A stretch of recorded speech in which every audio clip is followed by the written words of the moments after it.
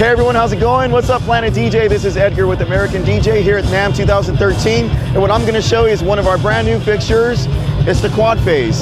Now I know you might think you're familiar with this. The Quad Phase has been one of our best selling effect lights. But what we did with this, similar to our Go Series par lights, as you can see there's no cables attached and we added a battery into the back. So this is the world's first battery effect light that we have and it's with the quad phase, which is you know one of our great lights. It still features the same LED power as our regular quad phase, but now with the battery style.